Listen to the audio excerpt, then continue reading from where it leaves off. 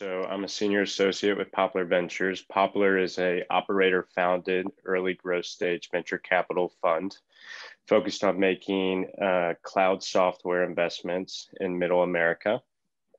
Um, traditionally, we focus on you know what you could say is seed and Series A stages, but in today's day and age, that's a rapidly evolving definition.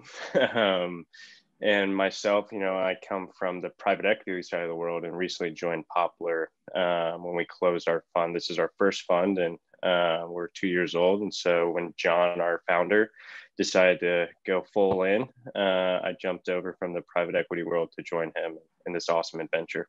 Definition for us around seed and series A is traditionally a company that has product market fit, value proposition has been solidified, and you likely have probably north of five customers, depending on if you're SMB or enterprise based. Um, and so 500K of ARR or on your way to it would probably be the right definition for a seed range. And then anywhere in between one and 3 million would probably, in our mind, be a good categorization of a series A round, uh, likely raising anywhere from 2 million to north of 10 million.